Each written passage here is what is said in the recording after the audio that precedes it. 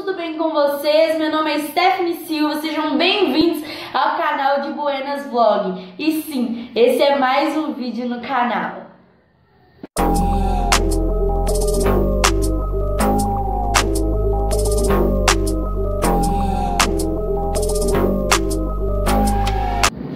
Então, gente, como vocês sabem, eu estou gravando um vídeo todos os dias dessa semana, desde ontem até sábado.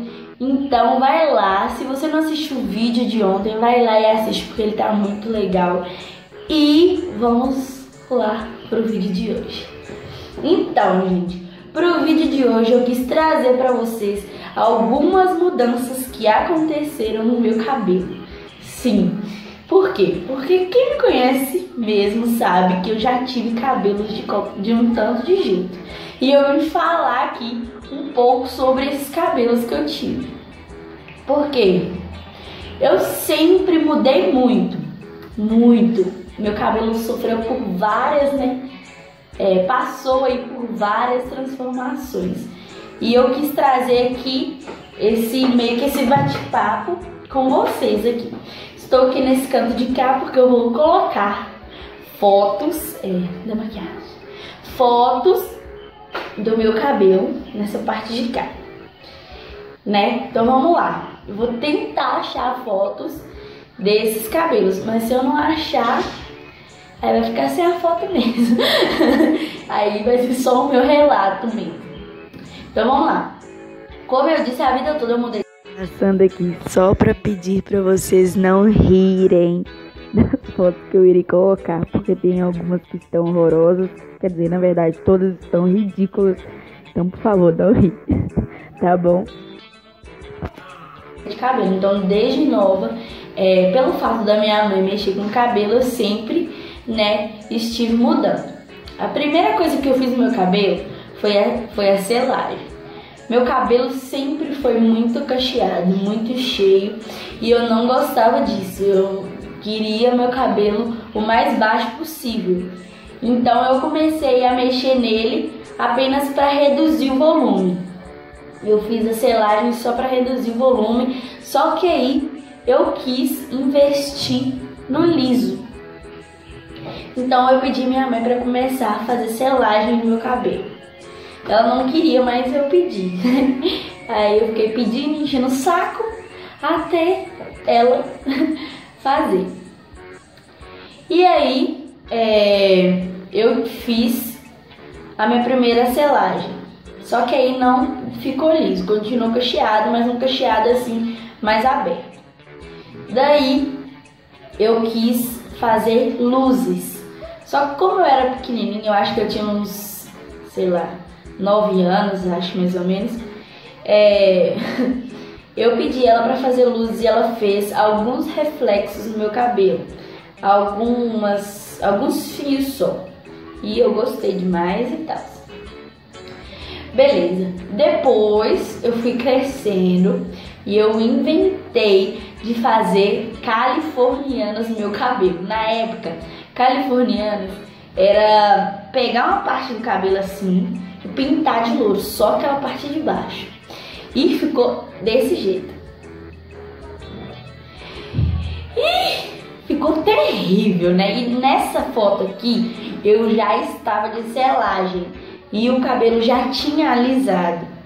Então eu não sei se essa foto vai dar pra perceber, mas minha raiz tá bem cacheadinha, mas as pontas tá lisa. Né? O resto do cabelo tá liso, reto, por causa da selagem. Depois, é, eu fiz as luzes no cabelo todo. Vou tentar achar a foto e vou colocar aqui.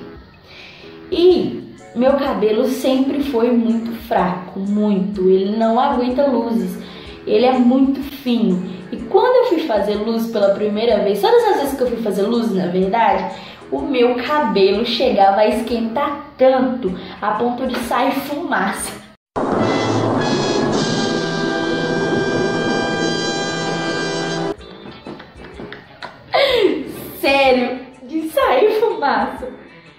E aí, eu, mas eu, go, eu gostava do meu cabelo louro, gostava, por mais tá todo quebrado, eu, gost, eu gostava.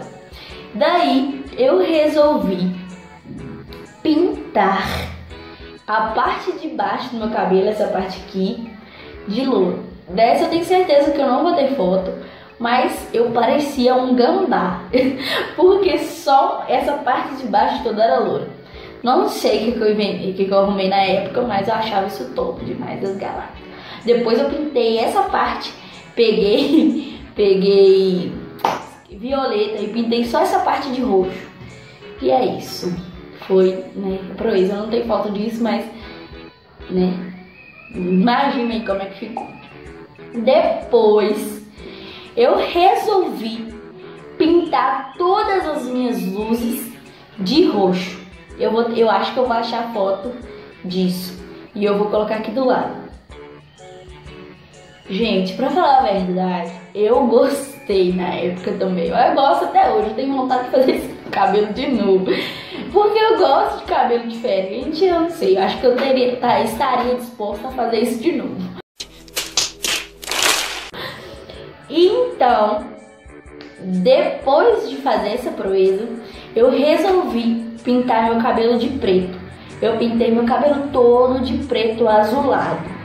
Vou, vou colocar aqui também. Na foto não vai aparecer preto azulado, mas era preto azulado.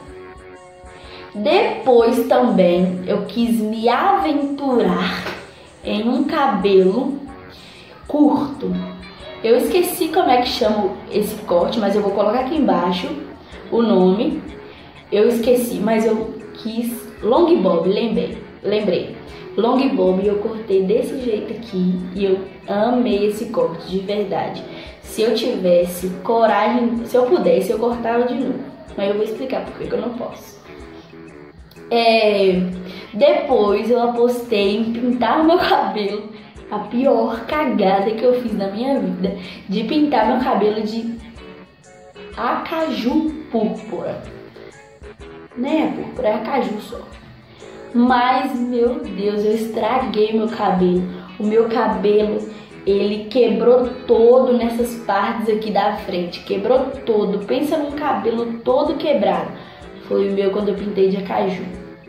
Depois, eu me arrependi e pintei o meu cabelo de castanho normal, desse jeito que tá aqui agora. E por que, que eu pintei? Porque estava muito desgastado, muito quebrado. E eu reparei que quando eu pintei de castanho de novo, o meu cabelo agradeceu, porque de verdade ele estava todo quebrado. Eu vou postar uma foto dele arrumadinho aqui. Postar, né? Eu vou colocar a foto dele arrumadinho aqui. Então, é, eu vou explicar por que que eu não cortei o meu cabelo até hoje. Por quê? Porque eu resolvi deixar o meu cabelo crescer até meu casamento. Sim. E embora eu tenha mudado tanto meu cabelo, eu acho que representa alguns tipos de fases da minha vida. Tipo assim, eu gosto de, de ver, rever as fotos e relembrar os momentos em que eu tive com esses cabelos e por mais que eles tenham sido assim, totalmente. É, tem uns que não deram certo, de verdade.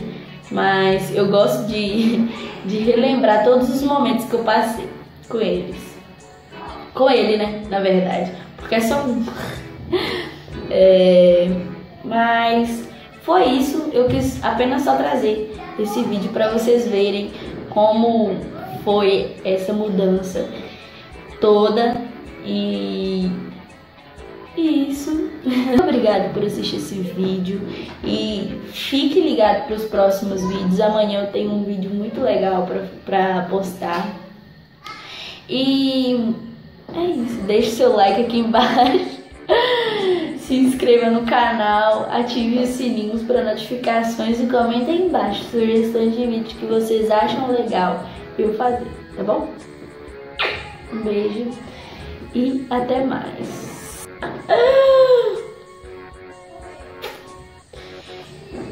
Tchau! Hashtag de buenas todo dia.